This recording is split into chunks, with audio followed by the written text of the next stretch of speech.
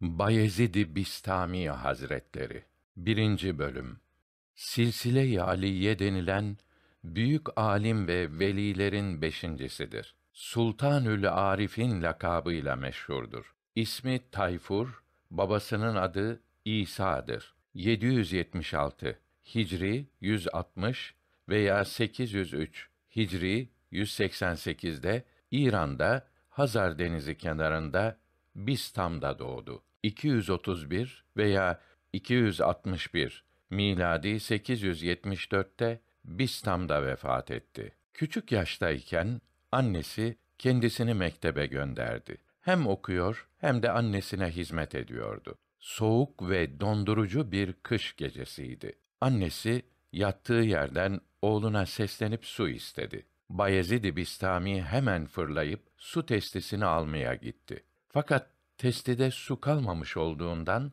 çeşmeye gidip testiyi doldurdu. Buzlarla kaplı testiyle annesinin başına geldiğinde annesinin tekrar dalmış olduğunu gördü. Uyandırmaya kıyamadı. O halde bekledi. Nihayet annesi uyandı ve su, su diye mırıldandı. Bayezid elinde testi bekliyordu. Şiddetli soğuk tesiriyle eli donmuş, parmakları testiye yapışmıştı. Bu hali gören annesi, "Yavrum, testiyi niçin yere koymuyorsun da elinde bekletiyorsun?" dedi. Bayezid-i Bistami, "Anneciğim, uyandığınız zaman suyu hemen verebilmek için testi elimde bekliyorum." dedi. Bunun üzerine annesi, "Ya Rabbi, ben oğlumdan razıyım. Sen de razı ol." diye canu gönülden dua etti. Belki de annesinin bu duası sebebiyle Allahü Teala ona evliyalığın çok yüksek mertebelerine kavuşmayı ihsan etti. Üveysi olup İmamı Cafer-i Sadık'ın vefatından 40 yıl sonra doğduğu halde İmam Ali Rıza'nın sohbetinden ve bunun bereketiyle İmamı Cafer-i Sadık'ın ruhaniyetinden istifade etti. Bayezid İmamı Cafer-i Sadık'ın ruhaniyetinden feyz almakla meşhur oldu. 30 sene Şam civarında bulunup 113 alimden ilim öğrenmiştir. Sultanül Arif'in Bayezid-i Bistami Hazretleri kalplere ve gönüllere şifa kaynağı olan sohbetlerinde sevenlerine şöyle buyurmuştur. Şu on şey beden üzerine farzdır. 1. Farzları noksansız yerine getirmek. 2. Haram kılınan şeylerden kaçınmak. 3. Allah için mütevazı olmak. 4. Müslüman kardeşlerine eziyet etmekten sakınmak. 5. İyi ve kötü herkes için hayır isteyen olmak. 6. Allahü Teala'nın mağfiretini arzulamak. 7. Her işte ve her halükarda Allah rızasını gözetmek. 8 öfkeyi, gurur ve taşkınlığı, zulüm ve haksızlığı, üzücü ölçüde mücadeleyi terk etmek. 9. Kendi kendine nasihatçı olmak. Nefsini terbiyeye çalışmak. 10.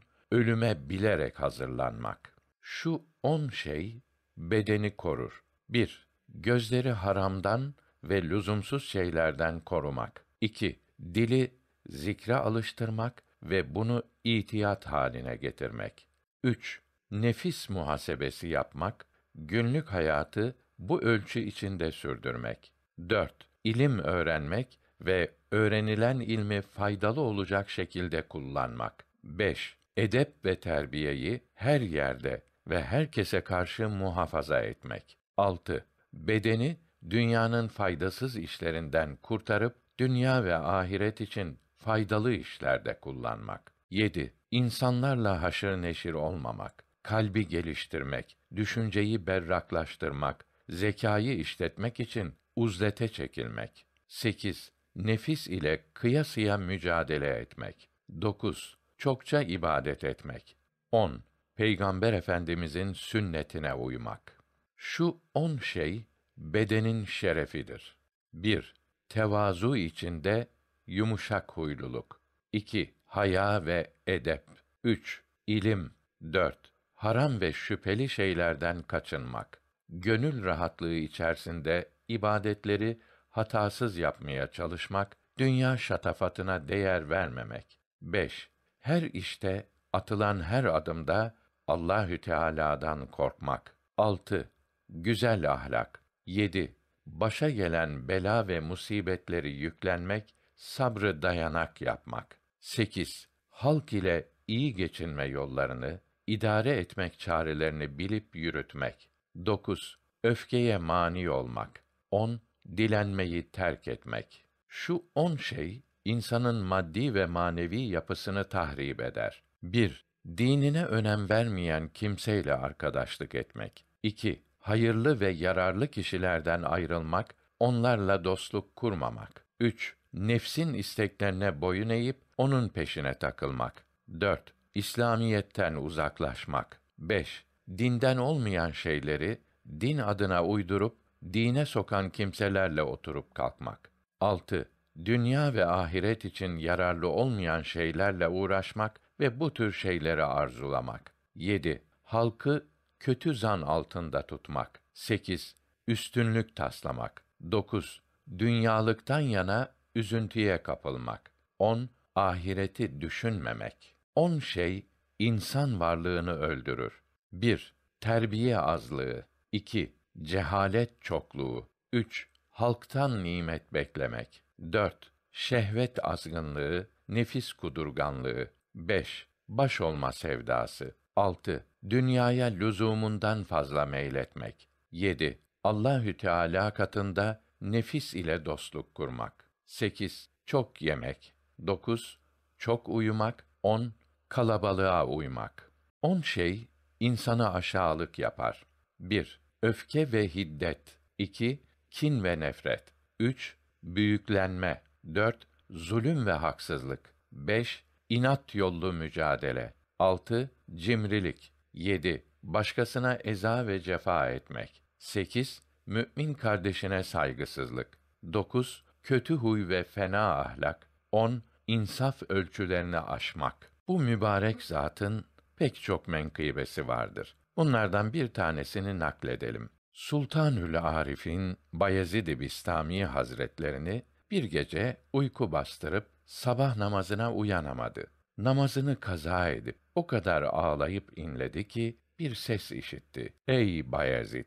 Bu günahını affeyledim. Bu pişmanlık ve ağlamana da ayrıca yetmiş bin namaz sevabı ihsan eyledim, diyordu. Aradan birkaç ay geçtikten sonra onu yine uyku bastırdı. Şeytan gelip Bayezid-i Bistami Hazretlerinin mübarek ayağından tutarak uyandırdı ve kalk namazın geçmek üzeredir dedi. Bayezid-i Bistami Hazretleri şeytana ey melun sen hiç böyle yapmazdın.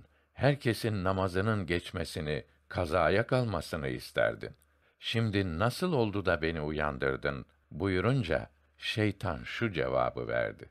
Birkaç ay önce sabah namazını kaçırdığında pişmanlığın ve üzüntün sebebiyle çok ağlayıp inlediğin için ayrıca yetmiş bin namaz sevabı almıştın. Bugün onu düşünerek sadece vaktin namazının sevabına kavuşasın da yetmiş bin namaz sevabına kavuşmayasın diye seni uyandırdım dedi. Sultanül Arif'in Bayezid-i Bistami Hazretleri sevenlerine şöyle nasihat etmişlerdir. Bayezid-i Bistami Hazretlerinin yakınlarından biri seyahate çıkarken huzura gelip bana tavsiyede bulunur musunuz dedi. O da üç şey ile sana tavsiyede bulunurum. Yolculukta kötü huylunun biri sana arkadaşlık ederse onun kötülüğünü kendi güzel ahlak botana sok da şekillendirmeye çalış. Böylece işin ve yolculuğun selametle neticelensin.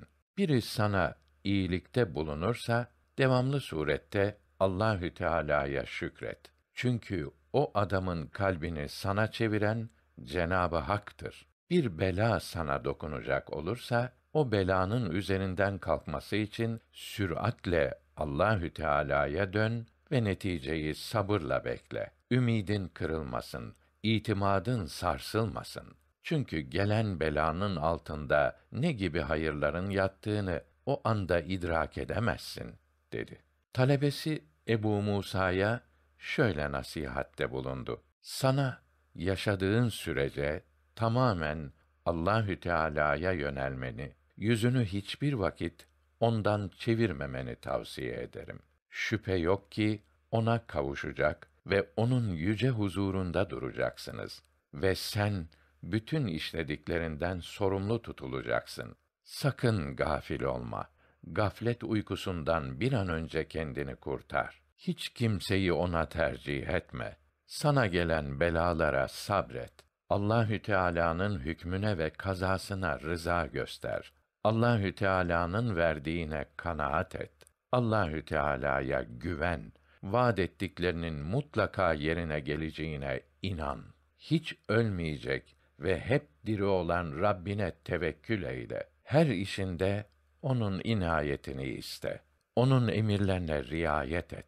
Hayatta olduğun müddetçe bu dediklerimi yapmaya çalış. Halkı bırakıp hakka yönel.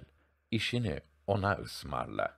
Bu mübarek zatın pek çok menkıbesi vardır. Bunlardan bir tanesini nakledelim. Bayezid-i Bistami Hazretleri kabristanda çok dolaşırdı.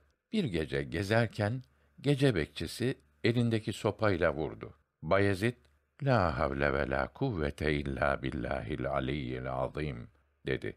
Bekçi birkaç kere daha vurunca sopa kırıldı. Bayezid Hazretleri eve dönünce talebelerine sopanın fiyatını sordu.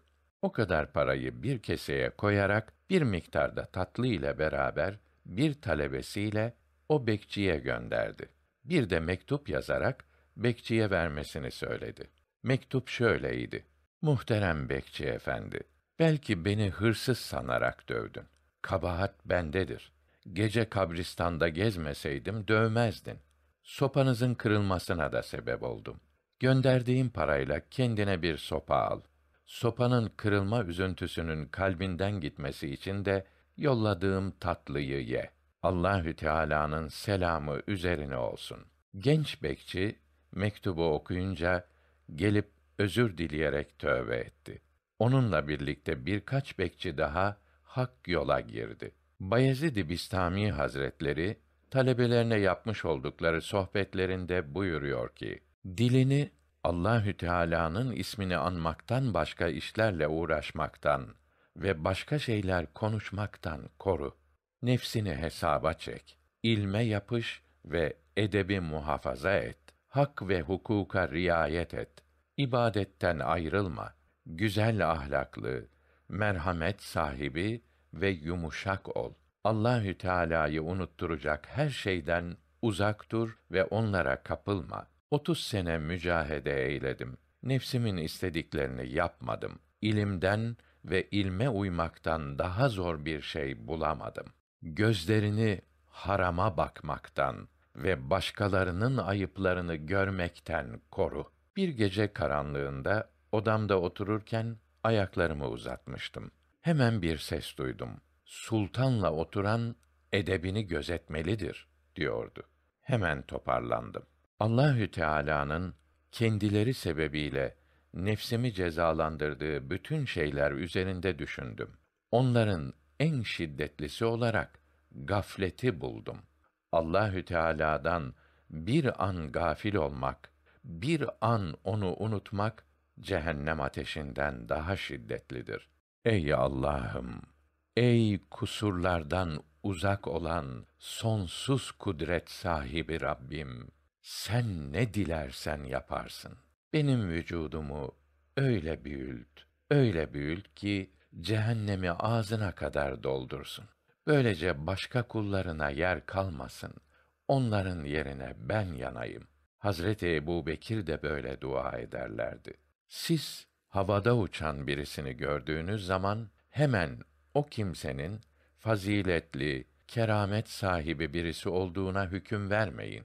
Hata edebilirsiniz. O kimsenin hakikaten fazilet ve keramet sahibi olduğunu anlamak için İslamiyetin emirlerine uymaktaki hassasiyetine, Peygamber Efendimizin ahlakı ile ahlaklanması ve sünnet-i seniyeye uymasına, hakiki İslam alimlerine olan muhabbet ve bağlılığına bakın. Bunlar tam ise o kimse fazilet ve keramet sahibidir.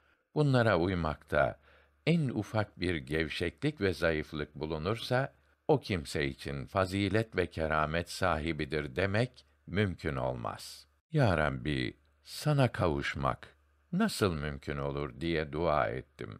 Bir nida geldi. Nefsini üç talakla boşa diyordu. Bu kadar zahmet ve meşakkatlere, sıkıntılara katlanarak aradığımı annemin rızasını almakta buldum.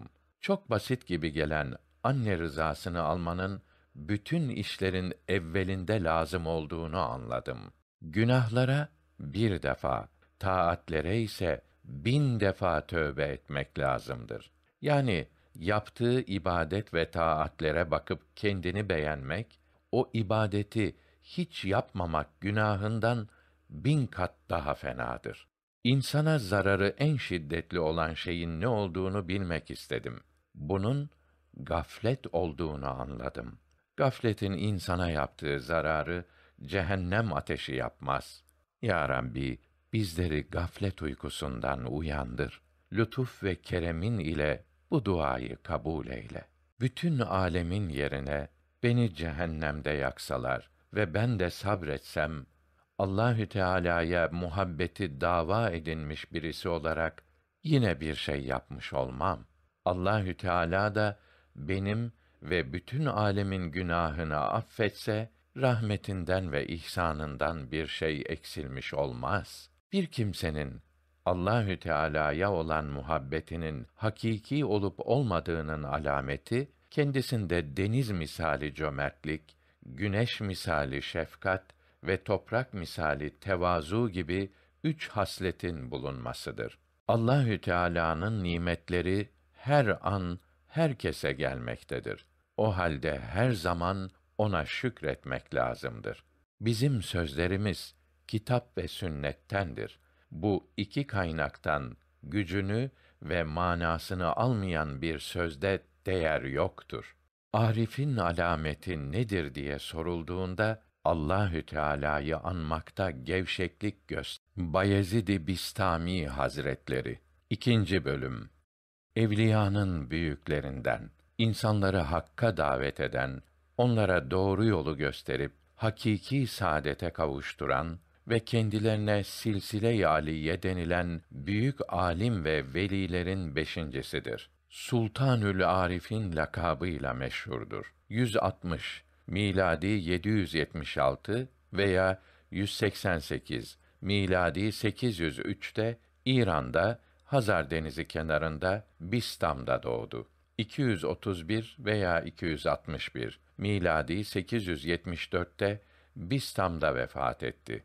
Bayezid-i Bistami Hazretleri ilim tahsil ettiği üstadlarından birini olan hürmet ve muhabbetinden dolayı onun kabrinin yanına defnedilmeyi ve kabrinin hocasının kabrinden daha derin yapılmasını, kendi vücudunun hocasının vücudundan aşağıda olmasını vasiyet etti. Hocalarının en büyüğü Allahü Teala'ya kavuşmak yolunda çok yüksek derecelere kavuşmasına vesile olan İmamı Cafer-i Sadık Hazretleridir. Sultanül Arif'in Bayezid-i Bistami Hazretleri sevenlerine şöyle nasihat etmişlerdir. Yumuşaklıkla, şiddet ve sertlikle elde edilemeyecek şeylere kavuşulur. Görülmüyor mu ki su yumuşak olmasına rağmen çok sert taşları aşındırmaktadır.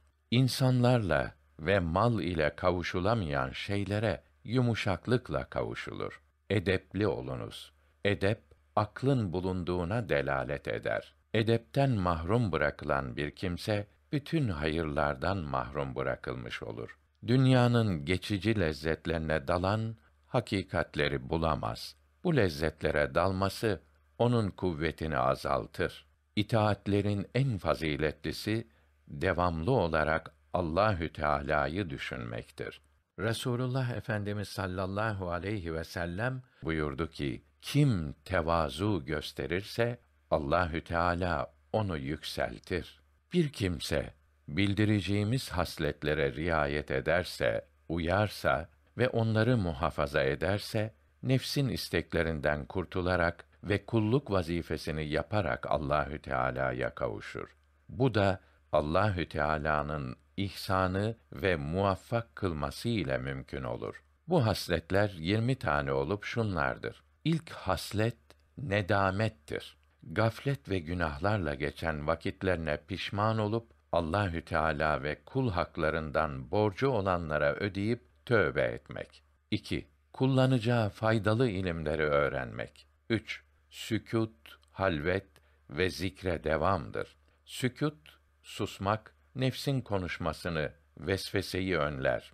Halvet, yalnızlık, hislerin dağılmamasını sağlar. Zikir, kalbin tasfiyesini, saflaşmasını, temizliğini temin eder.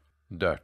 Ayakta durma, oturma ve bütün hallerinde Allahü Teala'nın emir ve yasaklarını düşünüp hareketlerini ona göre düzeltmek. 5. Her işine meşveret etmeden, danışmadan başlamamaktır. Böylece işin bozuk ve kötü olmasından korunur. 6. Bir din kardeşiyle birlikte bulunup vesveselerden kurtulmak gerekir. 7. Her işinde ve sözünde sadık, doğru olmaktır. 8. Mide ve dili korumaktır. Çünkü talebe şehvet sevgisine müptela olursa günleri gaflet ve tembellik ile geçer ve Allahü Teala'ya ulaşmaktan mahrum kalır. Dil konuşmaya meylederse gönlü zikre alışmaz. Zira dilin günahı, isyanı diğer bütün günahlardan daha çoktur. 9. Bütün azalar ile içten ve dıştan edepli olmaktır. Susmalı ve ancak lüzum olunca konuşmalıdır. 10. Üç şeye riayet etmelidir. İlki, çok acıkmayınca yememelidir. İkincisi, çok susamadıkça su içmemektir. Böylece uyku basmasından korunulmuş olur. Üçüncüsü, çok uyku bastırmadıkça uyumamalıdır. 11. Lüzumsuz veya zararlı yerlere bakmaktan gözü korumaktır. Hadisi şerifte Müslümanların odalarına gizlice ve kötü gözle bakanlar münafıktır buyurulmuştur. 12. Yemek ve uyku öncesi dahil olmak üzere devamlı abdestli bulunmaktır. Bunun faydaları çok olup bundan gafil olmamak lazımdır. 13. Zaruret hali hariç gaflet ehli yani Allahü Teala'yı hatırlamayanlarla beraber bulunmamalıdır ki onların gafletleri sirayet etmesin, bulaşmasın. 14. Boş sözleri dinlemekten sakınmalıdır. Kalbin fesat ve dağınıklığı çoğu zaman bundan doğar. Boş sözleri dinleyen dünya sevgisine müptela olup helak olmasından korkulur. 15. Şöyle yapsaydım böyle olurdu. Şöyle yapmasaydım böyle olmazdı gibi sözlerden sakınmalıdır. Bunlar münafıkların sözlerindendir. Hakkın dilediği olduğu, dilemediği olmadı. Takdir ettiği olacak. Sadece Allahü Teala bize kâfidir. O ne iyi vekildir diye söylemelidir. 16. Kimseyi azarlamamalıdır. Çünkü hak yolun taliplerine bu iş yakışmaz. İnsanlara Allahü Teala için iyi davranılırsa insanın tabiatı iyi ahlaklara alışır ve gazaplardan olur olmaz şeylere kızmaktan kurtulur. 17. Kibirden sakınmalıdır. Kibrin alameti kendini yüksek veya başkalarını aşağı görmektir. Çok büyük bir kusurdur. 18. Ucuptan, kendini beğenmekten sakınmalıdır. Ucbun alameti kendini, kendi aklını ve fikrini beğenip kimseden nasihat kabul etmemektir. Ucup sahibi çok bildiğini sandığından çok yanılır. 19. Hasetten sakınmalıdır. Hasedin alameti Allahü Teala'nın bir kuluna verdiği nimetlerin okuldan gitmesini istemektir. 20 kalbini Allahü Teala'yı unutturacak hiçbir şeyle meşgul etmemelidir. Bu mübarek zatın pek çok menkıbesi vardır. Bunlardan birisini nakledelim. Bayezid-i Bistami Hazretleri bir gün talebeleriyle giderken delilerin bulunduğu bir tımarhanenin önünden geçiyorlardı. Talebelerinden birisi orada delilerin tedavileri için bir şeyler yapmaya çalışan baş tabibe yaklaşıp günah hastalığıyla hasta olanlar için bir ilacınız var mıdır diye sordu. Baştabip cevap veremeyip susunca ayağı zincirle bağlı delilerden biri Bayezid'in teveccühüyle şöyle dedi. O derdin ilacı şöyledir. Tövbe kökünü istiğfar yaprağıyla karıştırıp kalp havanına koyarak tevhid tokmağıyla iyice dövmeli. Sonra insaf eleğinden eleyip gözyaşıyla hamur etmeli. Daha sonra aşkullah ateşinde pişirip muhabbeti Muhammediye balından katarak gece gündüz kanaat kaşığıyla yemelidir. Sultanül Arif'in Bayezid-i Bistami Hazretleri sevenlerine şöyle nasihat etmişlerdir. Akıl insanın doğru ile yanlışı birbirinden ayırabilmesini temin eder. Akıldan daha kıymetli bir sermaye yoktur. Kişinin dininin kemali, olgunluğu aklının kemaline göredir.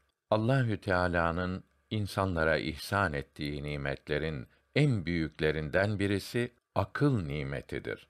Akıllı kimsenin dünyevi bir menfaati kaçırdığı için bunu kendine gam yapması uygun değildir. Çünkü üzülmekle ele bir şey geçmez. Aynı zamanda fazla üzüntü akla zarar verir. Akıllı kimse hastalık ve tehlike gibi bir musibet gelmeden önce tedbirini alandır. Akıllı kimse konuşması istenmeden konuşmaya başlamaz. Bir zaruret olmadan cevapta acele etmez. Akıllı insan önce kendi ayıplarını görür.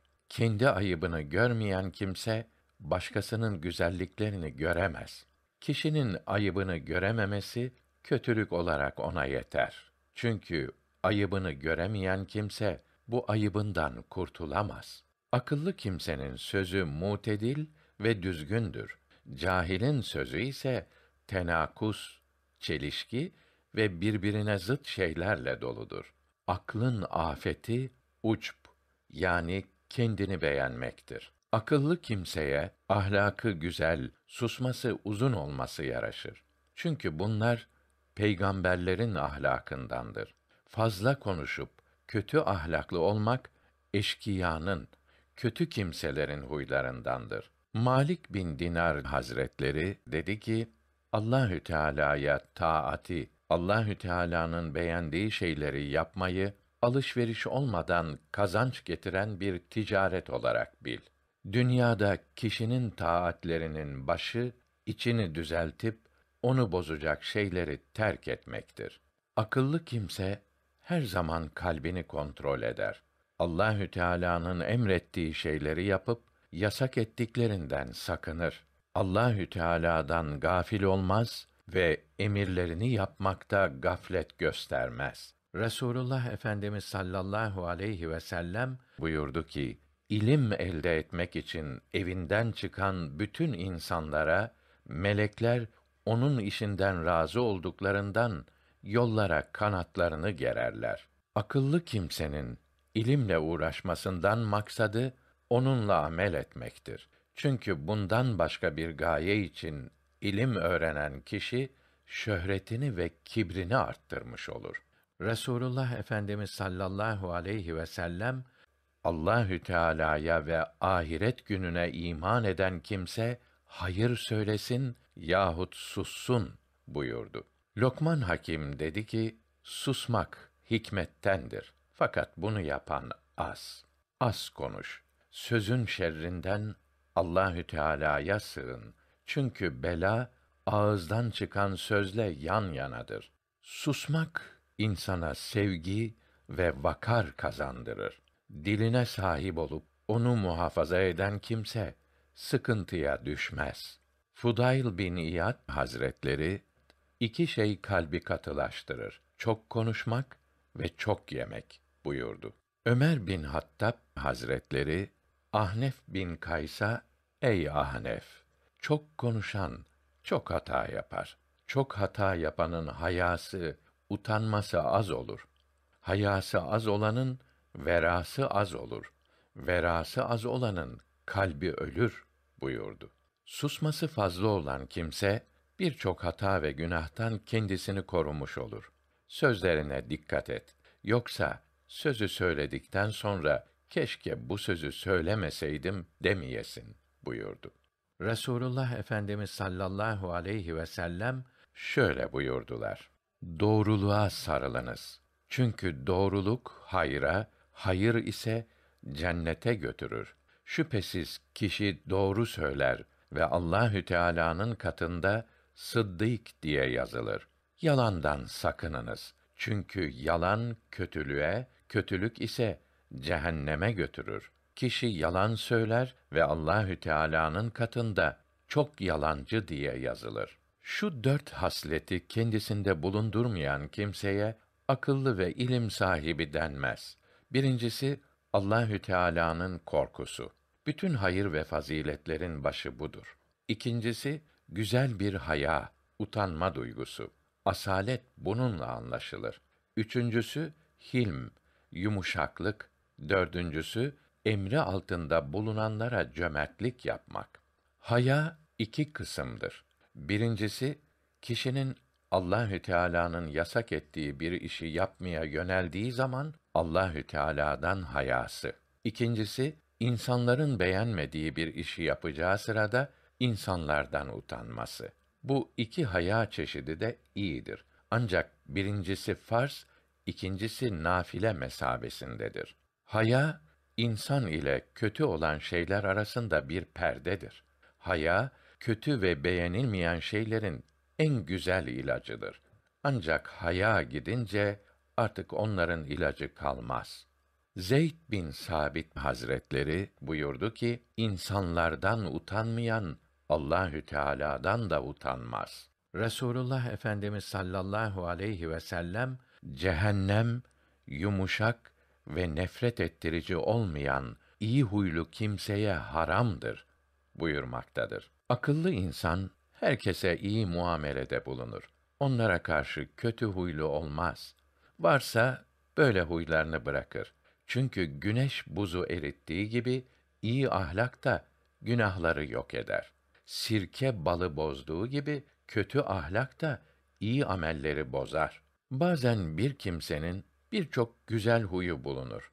Fakat bir tane de kötü bir huyu bulunur. Bu bir tane kötü huy diğer bütün iyi huyları bozar. İbn Mübare'ye iyi ahlak nedir diye soruldu.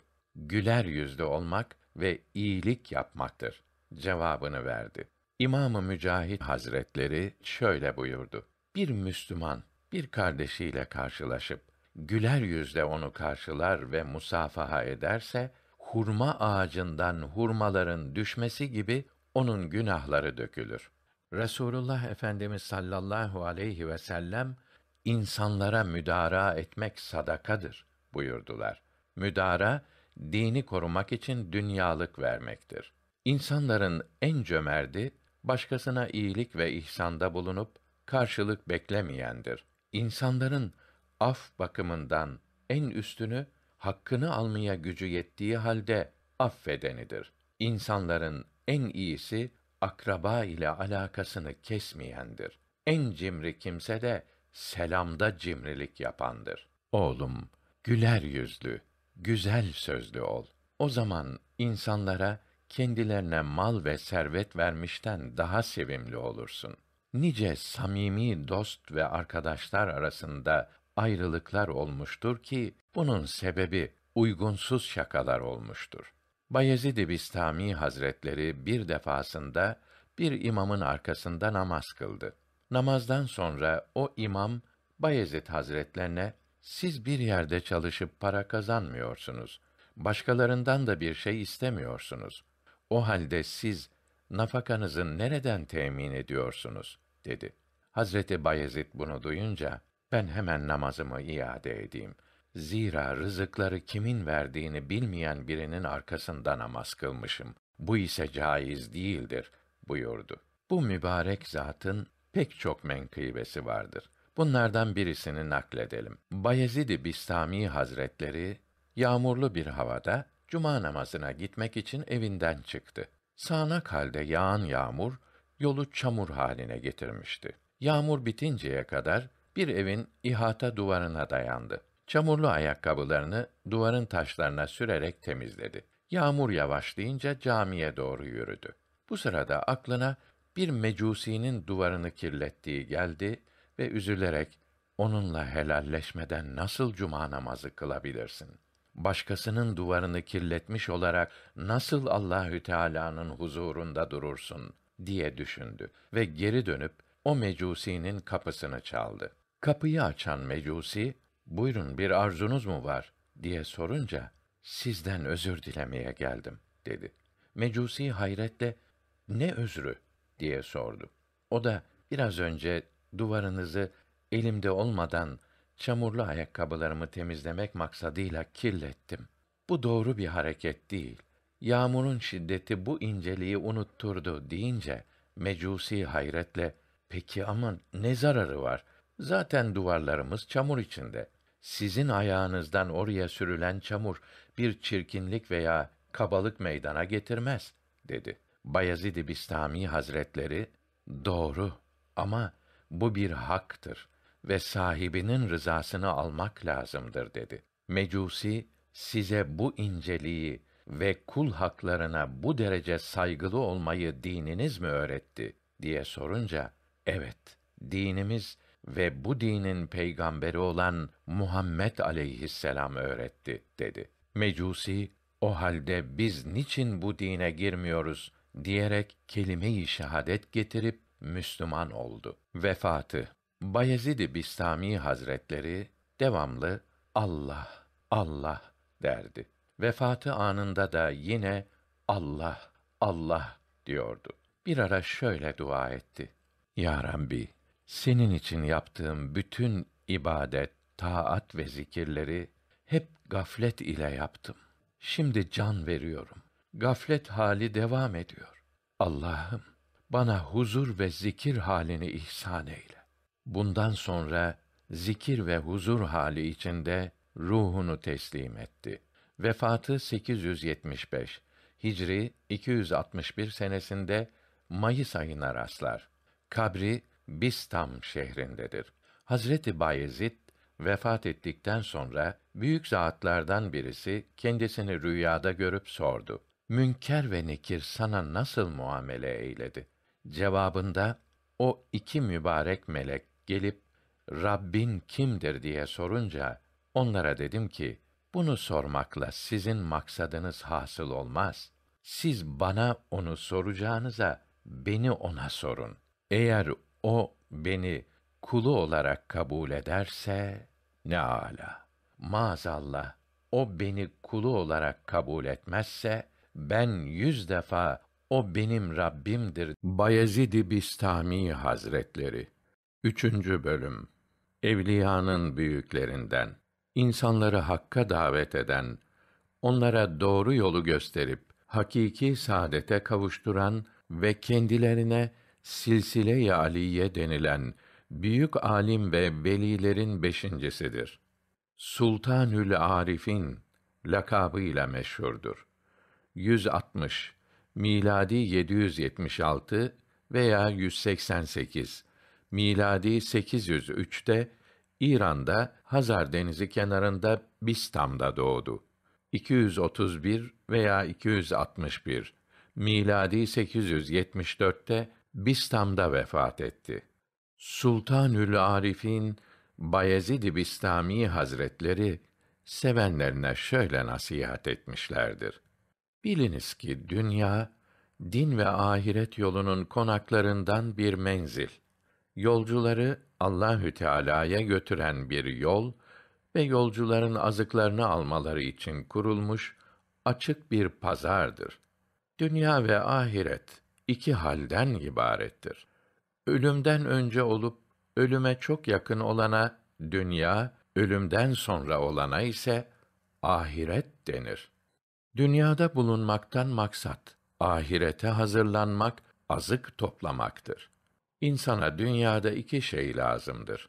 Biri kalbi öldüren şeylerden korumak ve kalbin gıdasını temin etmektir. İkincisi bedeni helak edici şeylerden korumak ve gıdasını temin etmektir. Kalbin gıdası marifet, Rabbini tanımak ve muhabbettir. Rabbini sevmektir. Her şeyin gıdası kendine, tabiatına uygun olur. Kalbin helak olmasına sebep Allahü Teala'nın sevgisini bırakıp başka şeylerin sevgisine dalmasıdır. Bedeni kalp için korumak lazımdır. Beden fanidir, geçicidir. Kalp ise ölmez, kalıcıdır. Beden kalp için hacıyı hacca götüren binek hayvanı vasıtası gibidir. Hacca gitmek için hacıya binek vasıtası lazım olduğu ve bu vasıtaya ihtiyacı olduğu kadar bakması, ilgilenmesi gerektiği gibi kalbi taşıyan bedenle de gerektiği kadar ilgilenmek, ona bakmak lazımdır. Fakat insan bütün zamanı ona bakmaya ayırırsa, yolda binek hayvanının veya vasıtasının bakımıyla oyalanıp kafileden geri kalır ve helak olur. Kalbi taşıyan bedenin beslenmek için yemeye, içmeye, giyinmeye, soğuk ve sıcaktan korunmak için barınacak bir yere, eve ihtiyacı vardır. Böylece helak olmaktan kurtulur. İşte dünyada zaruri ihtiyaçları bunlardır. Hatta dünyanın esası bunlardır. Kalbin gıdası ise marifettir. Rabbini tanımasıdır. Dünya üç şeyden ibarettir. Bunlar bitki, maden ve hayvan gibi yeryüzünde görülen şeylerdir. Toprak, mesken kurmak ve ziraat yaparak ondan faydalanmak içindir. Madenler alet yapmak için, hayvanlar ise binmek ve yemek içindir. Diğer ikisi de insanın bunlar ile kalbini ve bedenini meşgul etmesidir. Ya kalbi dünyayı sevmek ve onu istemekle meşgul olur veya bedenini dünya işlerini yapmakla meşgul eder. Kalbin dünya işleriyle meşgul olması sebebiyle kalpte helake sebep olan hırs, bahillik, haset, adavet, düşmanlık ve bunlar gibi kötü sıfatlar meydana gelir. Bedeni dünya ile meşgul eylemekten kalbe de bir meşguliyet doğar. Böylece aslını unutur ve tamamen dünyaya dalar. İşte bu sebepler ile dünya meşgalesi çoğalıp birbirine karıştı. İnsanlar bunlar arasında kendilerini kaybettiler. Bunların aslında yemek, giyinmek, mesken, barınmak olmak üzere üç şeyden ibaret olduğunu anlayamadılar. Bu üç şey ise beden için lazımdır. Beden de kalp için lazımdır. Kalbi taşımaktadır. Kalp Allahü Teala'yı tanımak, bilmek için lazımdır. O halde kendini ve Rabbini unutanlar yolda oyalanıp kalarak gideceği yeri unutan kimseye benzer. Dünya ve hakikati bunlardır. Her kim dünyada yolculuğa, ahirete hazırlanmazsa gözünü ahirete çevirmez ve dünya ile ihtiyacından fazla meşgul olursa dünyayı tanımamış olur. Sevgili Peygamberimiz sallallahu aleyhi ve sellem buyurdu ki: Dünya Harut ve Marut'tan daha büyük büyücüdür. Ondan sakınınız. Dünya insanı çeşitli yönlerden aldatır. Bu hilelerinden bir kısmı şunlardır. 1. Dünya kendini sana devamlı kalacak gibi gösterir. Halbuki her gün yok olmaya yaklaşır. Fakat gayet yavaş ve derece derece hareket eder. 2.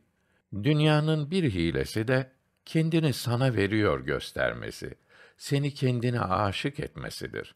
Halbuki sonra sana aniden düşman kesilir. 3. Bir hilesi de dışını süsleyip bela ve mihnetleri örtmesidir. Dışına bakan cahilleri aldatmasıdır.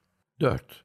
Bir kimse ezel ile ebed arasındaki birkaç günlük kısa ömrünü düşünürse dünyanın geçip gidilen bir yol olduğunu görür. Birinci konak beşik, son konağın mezar ve birinci konakla son konak arasında kaç konak bulunduğunu anlar. Her yıl bir konak, her ay kısa bir mesafe, her gün bundan daha kısa bir mesafe ve her nefes bir adım gibidir. İnsan ise durmadan yürüyor. Ölüme kiminin çok, kiminin az zamanı kalmıştır. İnsan ise dünyada devamlı kalacakmış gibi gamsız ve düşüncesiz oturmaktadır. 5. Dünyaya lazım olduğundan fazla dalanlar lezzetlere dalıp ahirette sıkıntı çekerler, rezalete düşerler. Dünyalığı çok olanlar ölürken dünyalığı az olanlardan daha çok ayrılık elemi çekerler. Bu elem ölmekle de sona ermez. 6. İnsanın dünya işlerinden karşılaştığı şeyler kendine az gözükür. Bunlarla meşguliyetin uzun sürmeyeceğini zanneder. Halbuki yüz tane meşgaleden biri ortaya çıkar ve ömrü o işte geçer. İsa aleyhisselam buyurdu ki, dünyayı isteyen deniz suyunu içene benzer. İçtikçe hararet basar, daha çok susar. İçe içe nihayet ölür. Fakat susuzluğu, harareti eksilmez. 7. Dünya bir misafirhane gibidir. Orada kendilerine ikram edilenler, ikram edilen şeyleri yer, eşyalara göz dikmez, misafirliği bitince de ayrılıp gider.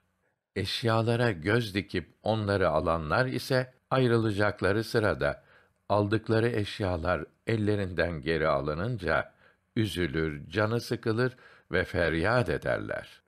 İşte dünyada böyle yolcuların azıklarını bedava alacakları fakat içeride olan eşyaları tamahkârlık ederek almayacakları bir misafirhanedir. 8. Dünyaya düşkün olanlar dünya işleriyle lazım olduğundan fazla meşgul olup ahireti unutanlar bir gemide bulunup gemi bir adaya yanaşınca ihtiyaçlarını gidermek için karaya çıkanlar gibidir. Kaptan hiç kimse fazla kalmasın, hemen ihtiyacını giderip gemiye binsin der. Akıllı olanlar ihtiyacını giderip hemen gemiye biner. Gemide daha rahat yer tutarlar. Bir kısmı ise adanın güzelliğine dalıp onu seyre dalarlar. Oradaki çiçeklere, tatlı tatlı öten kuşlara, bülbüllere, etrafın güzelliğine bakıp kalırlar. Geri dönünce gemide rahat bir yer bulamazlar. Karanlık bir yerde otururlar. Orada sıkıntı çekerler. Başka bir grup ise yalnız seyretmekle kalmayıp çiçekleri, süslü ve güzel çakıl taşlarını toplarlar. Yanlarını alıp gemiye götürürler. Yer bulamayıp dar bir yere sıkışırlar. Topladıklarını da omuzlarına alırlar. Bir müddet sonra topladıkları o güzel renkli çiçekler solar, kararıp çürür. Onlardan kötü kokular yayılmaya başlar. Atacak yer bulamazlar. Topladıklarına pişman olurlar. Onların yükünü ve sıkıntısını çekerler. Bir başka grup ise indikleri adanın güzelliğine şaşar ve öyle dalarlar ki gemiyi unuturlar. Kaptanın sesini duymazlar. Gemiyi kaçırıp adada kalırlar. Nihayet bir kısmı açlıktan ölür, bir kısmını da yırtıcı hayvanlar öldürür. Bunlardan birinci grup takva sahibi müminlere benzer. İkinci ve üçüncü grup asiler, isyankârlar gibidir. İmanın aslını korudular fakat dünyadan el çekmediler. Bir kısmı fakirlikten pay aldı. Bir kısmı çok şey toplayıp yükü ağır oldu. Son grup ise kâfirlere benzer. Çünkü kendilerini Allahü Teala'yı ve ahireti unuttular. Bütün varlıklarını dünyaya verdiler. Nahl suresi 107. ayet-i kerimede mealen dünya hayatını ahiret üzerine tercih edip sevmişlerdir buyuruldu. Bütün işlerin sonunun ölüm, duracağı yerin mezar, kendisine gelenlerin münker ve nekir, ebedi kalacağı yerin cennet veya cehennemden biri olduğunu bilen bir kimse için ölümü düşünmekten daha mühim, ölüm için azık toplama çaresinden daha yüksek bir tedbir olamaz. Bunu yapanlar ancak akıllı olanlardır. Nitekim Resulullah Efendimiz akıllı şu kimsedir ki nefsini emre uydurur, ve ölümden sonrası için amel işler, hazırlık yapar buyurdu. Ölümü hatırlayan bir kimse bunun için azık toplamakla elbette meşgul olur. Kabrini cennet bahçelerinden bir bahçe bulur. Ölümü unutup bütün maksadı dünya olan ahiret azığını aklına bile getirmeyenin mezarı cehennem çukurlarından bir çukur olur. Bunun için ölümü hatırlamak büyük fazilettir. Peygamber Efendimiz sallallahu aleyhi ve sellem ey dünya lezzetlerine dalmış olanlar bütün lezzetlerin yağma edildiği, yok edildiği zamanı düşünün buyurdu. Ve yine buyurdu: Ölüm hakkında sizin bildiklerinizi koyun ve sığırlar bilseydi hiçbir zaman yağlı et yiyemezdiniz. Hazreti Ayşe, Ya Resulallah, bir kimse şehitler derecesinde olabilir mi diye sorunca, evet, günde yirmi defa ölümü hatırlayan kimse, şehitler derecesinde olur buyurdu. Peygamber Efendimiz sallallahu aleyhi ve sellem, yüksek sesle gülen insanlar gördü. Buyurdu ki, bu toplantınızı bütün lezzetleri bozan ile karıştırınız. O nedir dediklerinde ölümdür buyurdu. Enes bin Malik Hazretleri anlattı. Resulullah Efendimiz buyurdu ki, ölümü çok hatırla. Seni dünyada zahit yapar, günahlarına kefaret olur. Ve yine buyurdu, insanlara nasihat için ölüm kâfidir. Eshab-ı kiram aleyhimür rıdvan bir kimseyi çok övdüler. Resulullah Efendimiz kalbinde ölüm için ne vardır buyurdu. Ölümden bahsettiğini duymadık dediler. O halde sandığınız gibi değildir buyurdu. İbni Ömer Hazretleri anlattı. Resulullah Efendimizin sallallahu aleyhi ve sellem yanındaydım. Huzurunda on kişi daha vardı. Ensardan biri insanların en akıllısı ve en kerimi kimdir diye sordu.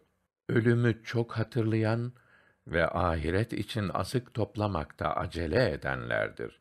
Dünyanın şerefini, ahiretin keremini götüren akıllılar onlardır buyurdu.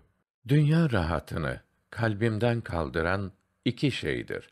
Ölümü hatırlamak ve Allahü Teala'nın huzurunda korkulu durmak.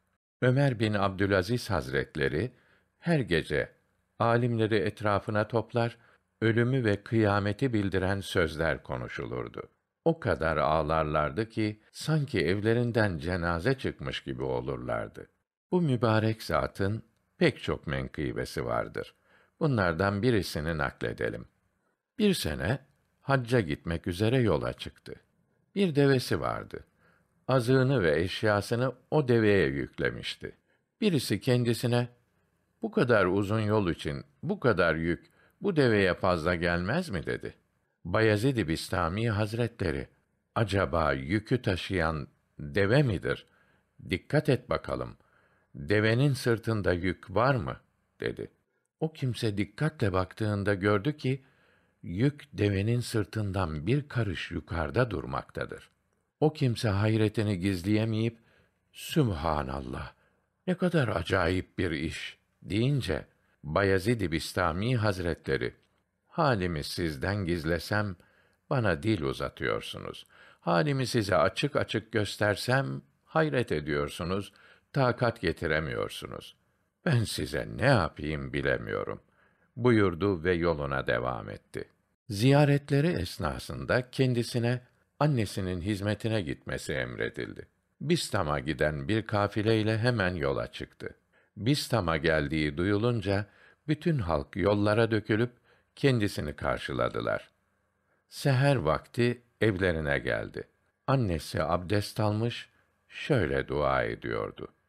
Ya Rabbi, benim garip oğlumu her kötülükten muhafaza buyur. Büyükleri kendisinden hoşnut eyle. Oğluma güzel haller ve iyilikler ihsan buyur. Bunun üzerine Sultanül Arif'in kapıyı çalıp izin istedi. Annesinin kim o sualine Bayezid-i Bistami senin garip oğlun cevabını verdi. Annesi koşup kapıyı açtı ve senden ayrılık hasretiyle ağlıya ağlıya saçlarıma ak düştü.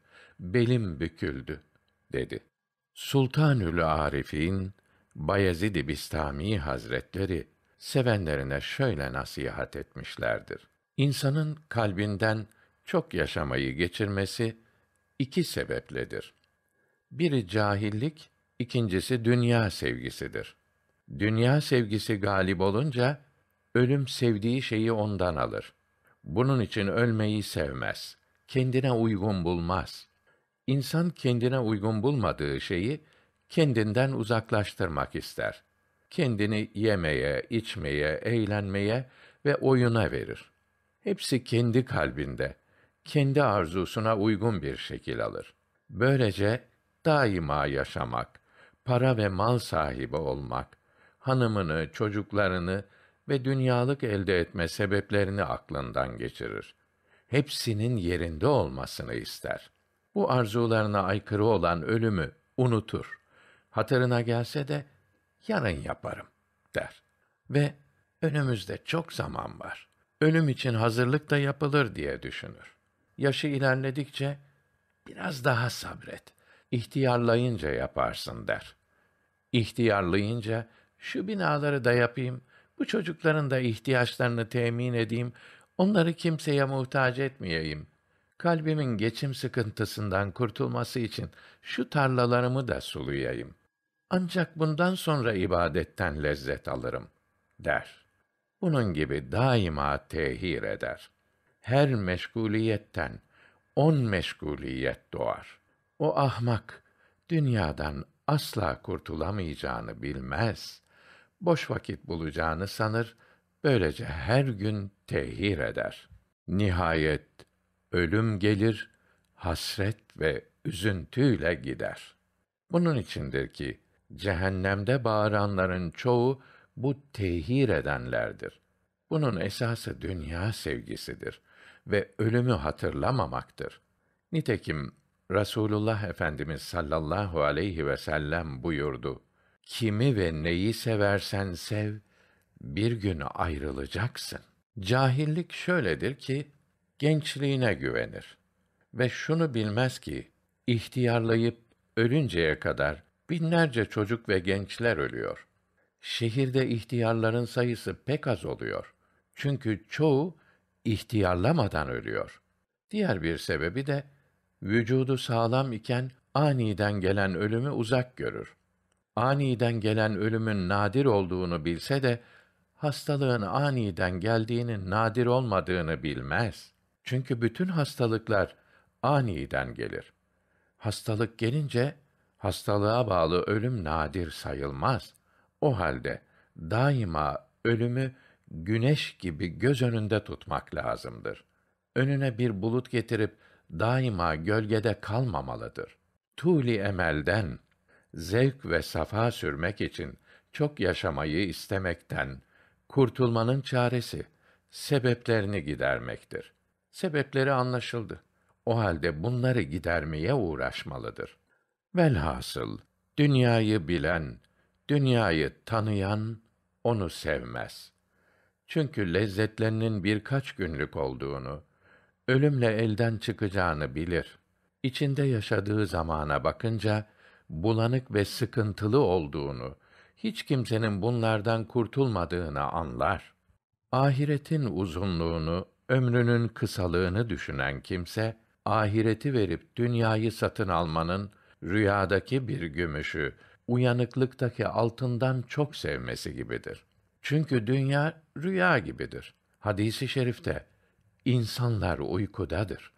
Ölünce uyanırlar buyuruldu. Cahilliği gidermenin çaresi temiz düşünmek ve hakiki marifetle olur.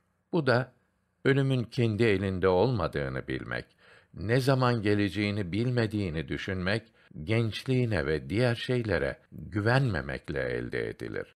Resulullah Efendimiz sallallahu aleyhi ve sellem beş şeyden evvel beş şeyin kıymetini biliniz. İhtiyarlamadan önce gençliğin, hasta olmadan önce sıhhatin, fakir olmadan önce zenginliğin, meşguliyetten önce boş zamanın ve ölmeden önce hayatın kıymetini biliniz buyurdu. Yine buyurdu. İki nimet vardır ki insanların çoğu bunda aldanmıştır. Sıhhat ve boş zaman.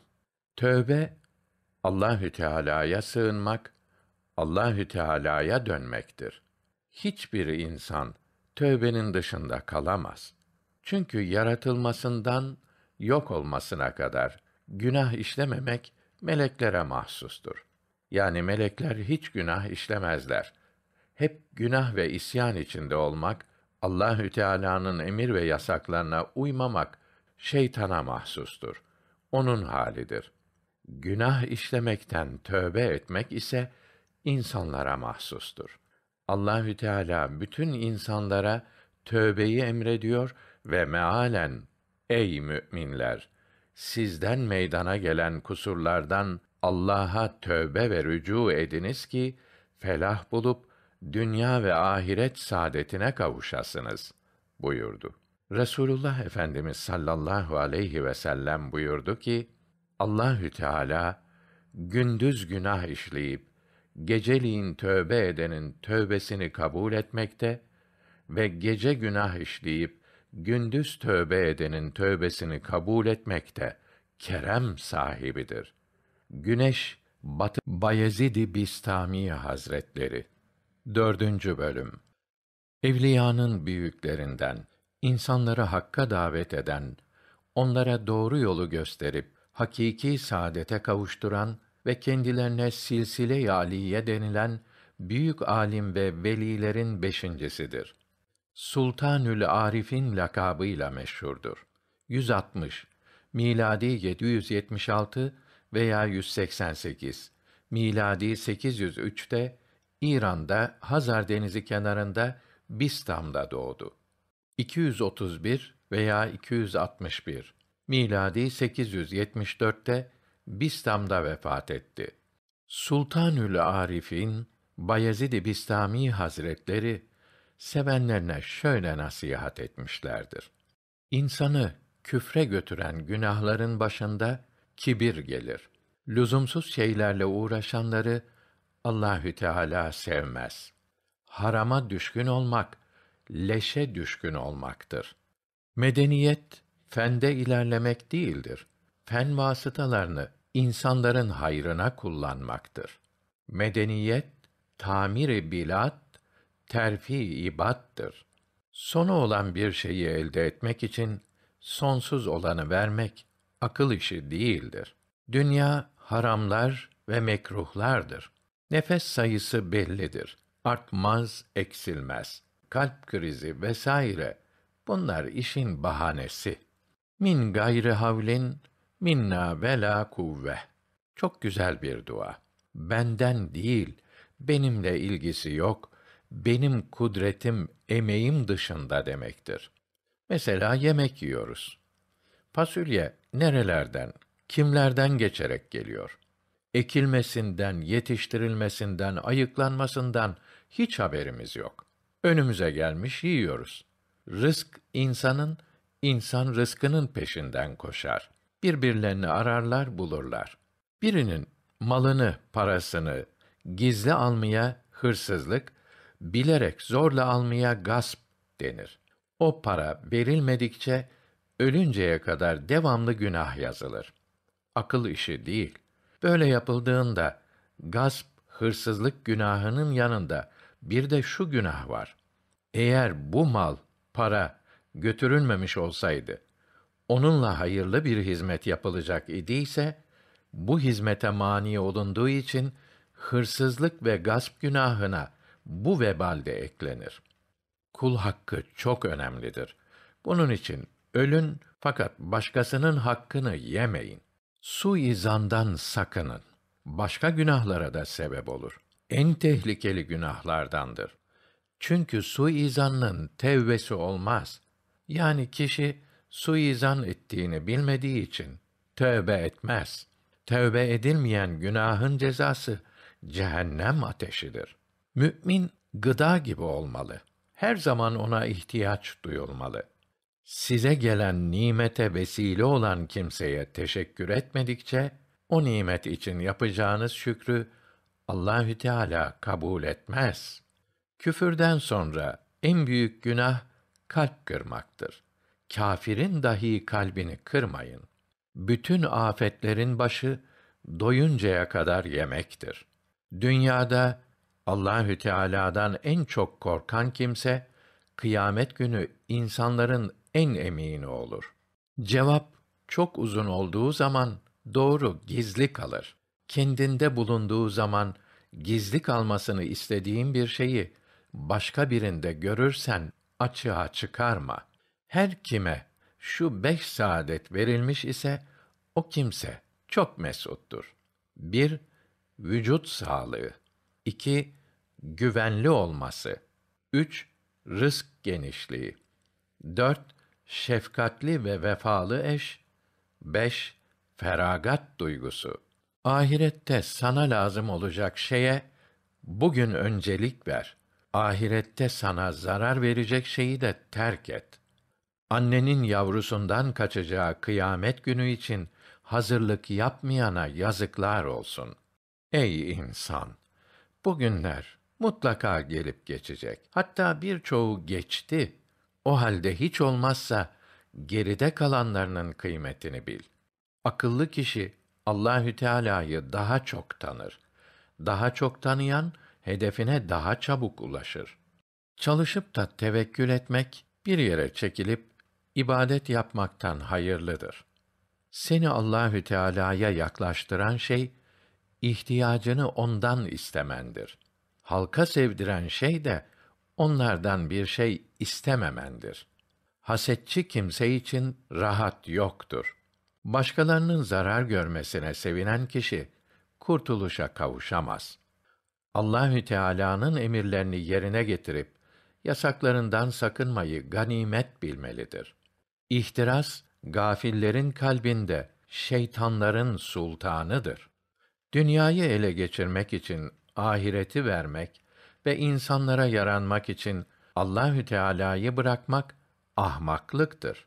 Kim cennetliklerden olmayı isterse salih kimselerle beraber olsun.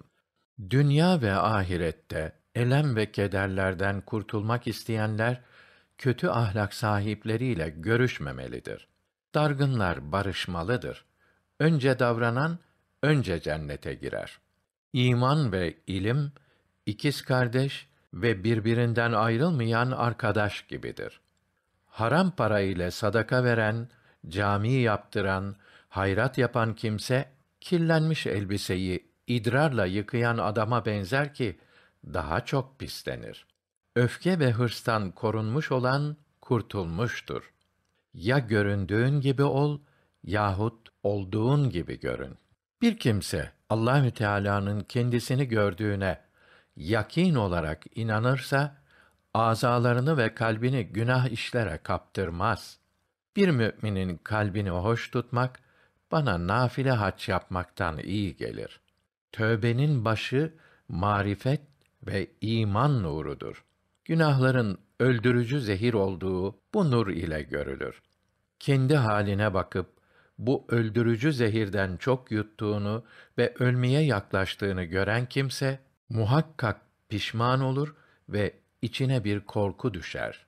Aynen zehir içip de ister istemez pişman olan, üzülen ve korkan kimsenin hali gibi olur. Bunun için içtiği zehiri kusmaya, midesinden çıkarmaya çalışır. Bu korku sebebiyle ilaç ve tedavi ister. İşte şehvetle, nefsin kötü isteklerine uyarak yapılan işler, içinde zehir olan bal gibi görünür. Çünkü o anda tatlıdır. Ne olduğu sonunda anlaşılır. Böyle olunca içine bir korku düşer. Yaptığına pişman olur. Kendini ölüm tehlikesinde görür. Bu korku ve pişmanlık ateşiyle şehvetlerine karşı meylinden ve günahlarından dolayı yanıp üzülür. Şehvet hasret haline döner. Halini düzeltmeye ve gelecekte bir daha yapmamaya azmeder. cefakârlığı bırakıp vefakâr olur. Bu hareket ve duruşlarını kontrol eder. Önceden oyun ve neşe ile gaflet içindeydi. Şimdi gözü yaşlı, üzüntülü ve korkuludur. Önceden gafil kimseleri severken şimdi marifet sahibi olan kimseleri sever. O halde tövbe pişmanlıktır ve aslı, başı marifet ve iman nurudur. Neticesi hallerini kontrol etmek ve düzeltmek, günahlardan, dine uymayan şeyleri yapmaktan sakınmak, iyi işler ve itaat yapmaktır. Her zaman tövbeye ihtiyaç vardır. Kul hiçbir şeye ağlamayıp sadece bugüne kadar ömrünün boşa geçen zamanları için ağlasa ölünceye kadar bu üzüntü ona yetişir. O halde geleceğini de boş şeylerle harcayacak olan kimseye ne denilebilir? Evet, çok kıymetli bir mücevheri olan bunu kaybedince üzülür, ağlar. Bir de kaybettiği için eziyet veya ceza görecekse daha çok ağlar. Ömürden her bir nefes ebedi saadeti ele geçirten bir cevherdir. Bir kimse kendini helak eden bir günah ve hata işleyip bunu anlayınca ne hale düşer? Bu öyle bir musibettir ki üzülmenin fayda vermediği zaman anlaşılır. Mealen sizden birinize ölüm gelip de ey Rabbim beni yakın bir zamana kadar geciktirsen de sadaka versem ve salihlerden olsam demezden önce size rızık olarak verdiğimiz şeylerden Allah yolunda harcayın. Münafikun suresi 10. Buyrulan ayet-i kerimeyi alimler şöyle tefsir etmişlerdir. Kul ölürken can alıcı meleği görür ve ölümün geldiğini anlar. Kalbine derin ve bitmeyen bir üzüntü çöker ve der ki: Ey melekül mevt, bana bir gün daha müddet ver. Tövbe edeyim, af dileyeyim. Ölüm meleği der ki: Önünde nice günler vardı. Bugün ömrüm bitti, hiç kalmadı. Tövbe etmeden ümitsizlik şerbetini içerse imanının aslı sarsılmaya başlar. Eğer Allah korusun ezelde şakiliğine hükmedilmişse şüphesiz imanı tehlikededir ve bedbaht olmuştur. Ezelde de saadetine hükmedildiyse imanının aslı selamette kalır. Allahü Teala mealen buyurdu ki: O kimseler ki kötü işlerde ısrar ederken onlardan birine ölüm gelip hayattan ümidini kesince ben şimdi tövbe ettim der. Denilmiştir ki Allahü Teala'nın her kul ile iki sırrı vardır. Biri doğduğu zamandır ki Allahü Teala kuluna seni temiz ve düzgün yarattım. Emanet olarak sana bir ömür verdim. Ölüm zamanına kadar çok dikkat et. Emaneti geri vereceksin buyurdu. İkincisi ölüm zamanındadır ki Allahü Teala buyurur ki kulum o emanetle neler yaptın? Koruduysan karşılığını bulursun. Zayi ettiysen hazır ol ki cehennem seni bekliyor. Bu mübarek zatın pek çok menkıbesi vardır. Bunlardan birkaçını nakledelim. Bayezid-i Bistami Hazretleri bir sene haç dönüşünde Hemedan'a uğrayıp oradan bir miktar tohum satın aldılar. Bistam'a gelip Hemedan'dan aldığı tohum torbasını açınca içinde birkaç karınca bulunduğunu gördü. Bunları yuvalarından ayırmanın münasip olmayacağını düşünüp tekrar Hemedan'a gitti, tohumu aldığı yere bırakıp ondan sonra Bistam'a döndü. Bayezid-i Bistami Hazretleri bir gece talebelerinden bir kısmıyla bir yere misafir oldular. Ev sahibi evin aydınlanması için bir kandil yaktı. Bayezid-i Bistami Hazretleri yanında bulunanlara bu kandilde bir gariplik görüyorum. Yanıyor ama ışık vermiyor. Hikmeti nedir diye sordu. Ev sahibi, efendim, biz bu kandili bir gece yakmak için komşumuzdan emanet almıştık. Bu akşam ikinci gece yakıyoruz deyince Bayezid Hazretleri kandili söndürdü ve hemen kandili sahibine götürüp teslim edin. Arzu ederseniz bir gece daha yakmak için izin isteyin buyurdu. Ev sahibi kandili alıp komşusuna götürdü. Olanları anlattı ve tekrar izin alıp geri getirdi. Eve gelince kandili yaktılar ve oda aydınlandı. Bayezid Bistami Hazretleri buyurdu ki, işte şimdi ışığını görüyorum. Bayezid Bistami Hazretleri bir gün yanlışlıkla bir karıncayı öldürdü. Haberi olunca çok pişman olup üzüldü. Ölü karıncayı avcuna alıp şefkat, merhamet ve hüzün ve kırık kalbiyle karıncaya üfürünce Allahü Teala'nın izniyle karınca canlanıp yürümeye başladı. Sultanül Arifin Bayezid Bistami Hazretleri sevenlerine şöyle nasihat etmişlerdir. Resulullah Efendimiz sallallahu aleyhi ve sellem birinin evi önünde nehir olsa, her gün beş kere bu nehirde yıkansa, üzerinde kir kalır mı? diye sordu. Hayır ya Resulallah dediler. İşte beş vakit namazı kılanların da böyle küçük günahları affolur buyurdu. Diğer bir hadis-i şerifte de buyurdu ki, mümin olan kul namazını eda ederken o namazın rükû ve secdelerini ve diğer rükünlerini iyi ve tamam eylese o namaz nurlu olur. Melekler o namazı göğe çıkarırlar. O namazda sahibine hayır dua edip der ki: Sen beni muhafaza ettiğin gibi Allahü Teala da seni muhafaza etsin. Namazı güzel ve tamam kılmazsa o namaz karanlık olur. Melekler beğenmeyip o namazı göğe yükseltmezler. Namazda kendini kılana beddua edip beni zayi ettiğin gibi Allahü Teala da seni zayi eylesin der. Bir kimse kırk gün cemaatle namaz kılar ve bir rekat bile kaçırmazsa onun için iki berat yazılır. Birincisi nifaktan kurtuluş beratı, ikincisi de cehennemden kurtuluş beratıdır. Her kim beş vakit namazı cemaatle kılmaya devam ederse Allahü Teala ona beş haslet verir. Ondan geçim darlığını kaldırır. Kabir azabını ondan kaldırır. Amel defteri sağından verilir. Sırattan şimşek gibi geçer ve cennete hesapsız girer. Amellerin en eftali vaktinde kılınan namazdır.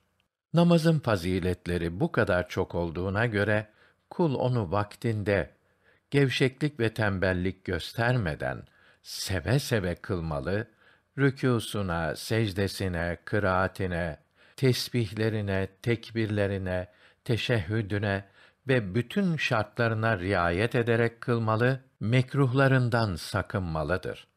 Resulullah Efendimiz sallallahu aleyhi ve sellem bir gün en büyük hırsız kendi namazından çalan kimsedir buyurdu. Ya Resulallah, bir kimse kendi namazından nasıl çalar diye sual ettiler. Namazın rükûsunu ve secdelerini tamam yapmamakla buyurdu. Namaz kılan kimse bütün günahlarına tövbe etmeli, kalbini hıktan yani kendine nasihat edenleri aşağı görerek nefret etmekten ve ona düşmanlık beslemekten, hasetten, kibirden, hileden, yalan ve iftiradan, gıybetten, dedikodudan, husumetten, düşmanlıktan korumalıdır. Gözlerini harama bakmaktan, midesini haram lokmadan, vücudunu haram giymekten ve ayaklarını Allahü Teala'nın razı olmadığı yerlere gitmekten korumalıdır. Namaz kılarken zahiren ve batinen Allahü Teala'nın huzurunda ihlas ile durmalı, kıldığı namazı en son namazını kılıyormuş gibi düşünerek en güzel bir şekilde eda etmelidir. Namaz kılan kimse Allahü Teala'nın huzurunda durduğunu, onun gizli ve açık her şeyi bildiğini, ona hiçbir şeyin gizli olamayacağını, doğruluğu, nifakı, hakikati mecazı bildiğini düşünmeli, ondan gafil olmamalıdır. Hadis-i şeriflerde de buyuruldu ki Allahü Teala bir kuluna hayır murad ederse onu dinde fakih kılar ve onu doğruya irşad eder. Her kim Allahü Teala'nın dininde fakih olursa Allahü Teala ona din ve dünya sıkıntılarında kâfidir. Allahü Teala ilim öğrenmek için yola çıkan kimseye cennet yollarından bir yolu kolaylaştırır. Melekler ilim talebesinin yaptığı şeyden razı olarak kanatlarını onun üzerine gererler. Semada ve yeryüzünde bulunanlar ve denizlerdeki balıklar onun için istiğfarda bulunurlar. Alimin alim olmayan abide üstünlüğü dolunayın diğer yıldızlara üstünlüğü gibidir. Alimler peygamberlerin varisleridir. Peygamberler dirhem ve dinar miras bırakmadılar. Onlar ancak ilmi miras bıraktılar. Kim ilim alırsa bol nasibe kavuşmuştur. Hasan-ı Basri Hazretleri buyurdu ki, kıyamet gününde şehitlerin kanı alimlerin mürekkebiyle tartılacak. Şehitler diyecekler ki, alimler zamanlarının ışık kaynağıdır. Her alim zamanının lambasıdır. İnsanlar alimin vasıtasıyla aydınlanırlar. Muaz bin Cebel Hazretleri buyuruyor ki, ilim öğreniniz. Zira ilim öğretmek hasenedir. İlim talebi ibadettir. İlim müzakeresi tesbihtir. İlim öğrenmek için çalışmak, gayret etmek cihattır. İlmi bilmeyene öğretmek sadakadır. İlmi ehline vermek kurbettir, ibadettir. İlim cennet ehlinin meşalesidir. Yalnızlıkta en iyi arkadaş, gurbette en iyi dost, halvette, yalnızlıkta en iyi konuşucu, sırlarda en iyi yol gösterici, zorlukta en iyi yardımcı, dostlara zinet, düşmana karşı silah, ölüm anında doğruyu gösteren yardımcı, kabirde arkadaş, kıyamette şefaatçi, cennete götürücüdür. Allahü Teala bazılarını ilim ile yüceltir, yükseltir. Onları hayırlara vesile eder. Dinde kendilerine ve eserlerine itimat edilen imamlar ve işlerinde kendilerine uyulan kimselerden yapar. Kerem sahibi olan Allahü Teala'dan dileriz ki ilim ve anlayış ile bizi rızıklandırsın. Bizi ebrarın menziline ulaştırsın ve alimlerle beraber haşretsin. Onların şefaatiyle cennete girmemizi Bayezid-i Bistami Hazretleri 5. bölüm Evliyanın büyüklerinden insanları hakka davet eden, onlara doğru yolu gösterip hakiki saadete kavuşturan ve kendilerine silsile-i aliye denilen büyük alim ve velilerin beşincisidir.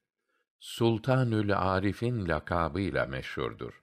160 miladi 776 veya 188 miladi 803'te İran'da Hazar Denizi kenarında Bistam'da doğdu. 231 veya 261 miladi 874'te Bistam'da vefat etti. Zamanında binlerce veli vardı. Hepsi de ibadet, riyazet, keşif ve keramet sahibiydi.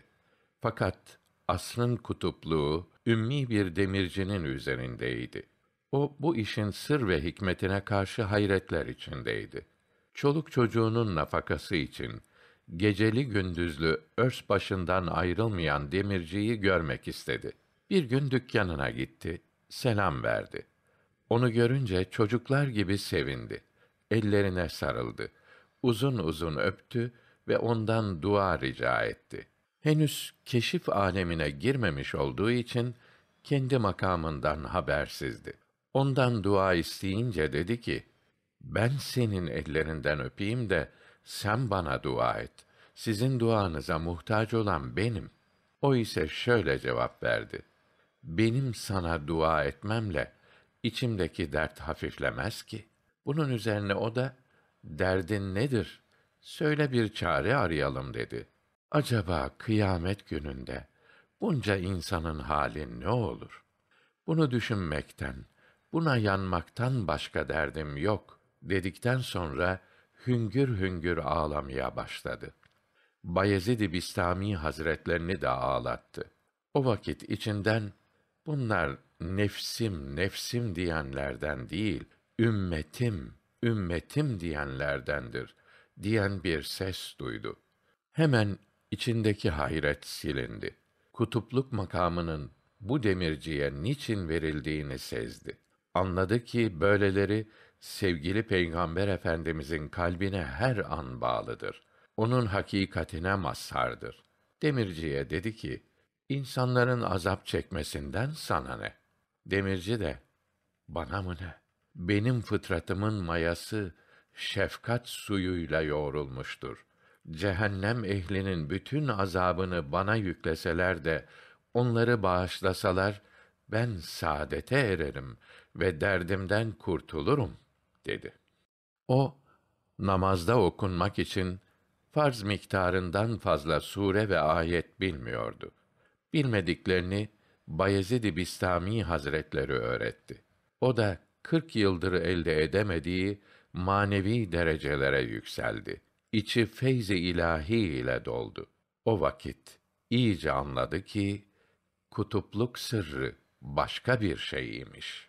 Sultanül Arif'in Bayezid-i Bistami Hazretleri sohbetlerinde buyurdular ki: Bir gün mübarek yüksek hocamla akşam dışarıda oturuyorduk. Gökyüzüne bakın buyurdular. Gökyüzüne baktım. Ne görüyorsunuz? Efendim karanlık ama tek tek ve yer yer küme halinde yıldızlar var. Efendim aslında dünya gökyüzü gibi karanlıktır. Fakat güneş ışıkları dünyaya geldiği için uzaktan parlak gözükür.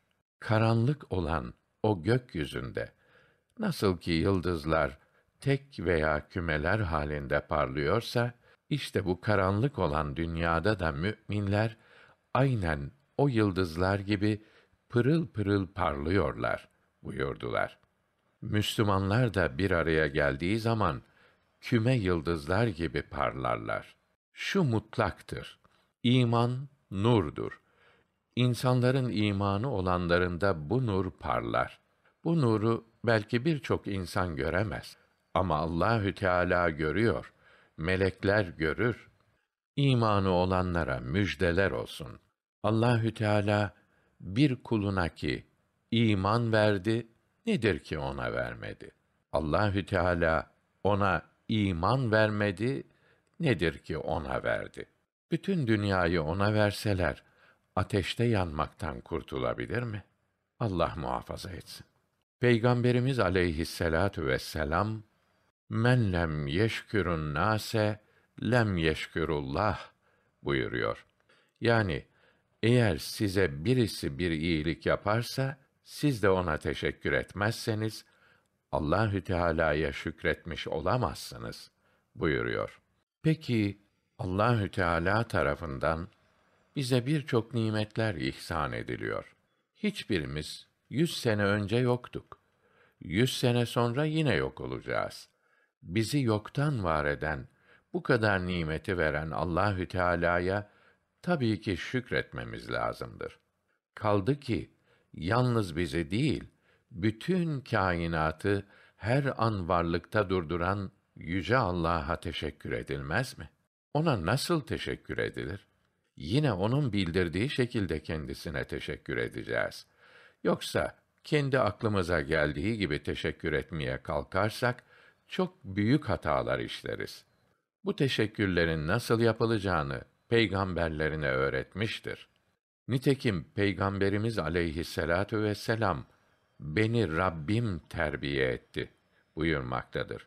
Yani her şeyi Rabbimden öğrendim buyuruyor.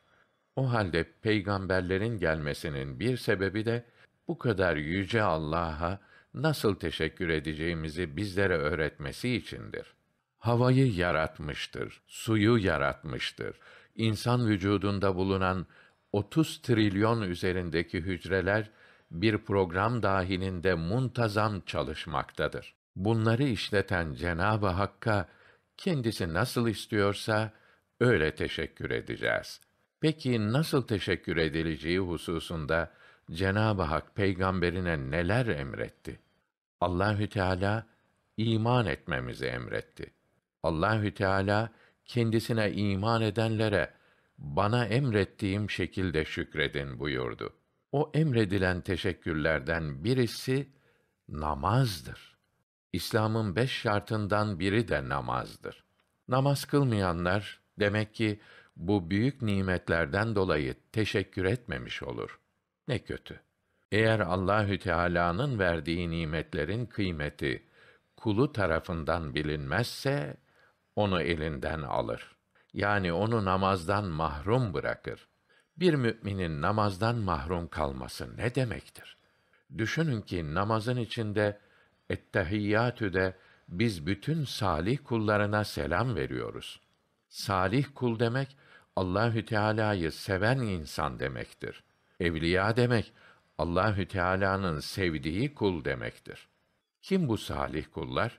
Başta eshab-ı kiram olmak üzere evliya zatlar, ehli sünnet alimleri, bütün namaz kılanlar, melekler salih kullardır.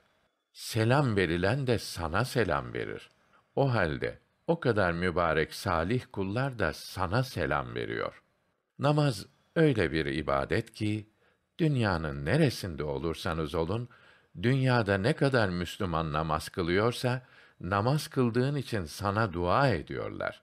Böyle bir duadan mahrum kalmaktan daha büyük bir kayıp, israf olur mu? Dolayısıyla namaz şahsın dünyada ve ahirette rahat etmesi için, çok sevap kazanması için, milyonlarca insanın duasını alması için manevi bir ağ sistemidir. Dünyanın neresinde olursa olsun, rengi, ırkı ne olursa olsun, bu kadar geniş bir kitleyi bir araya getiren böyle güzel bir ibadet yoktur.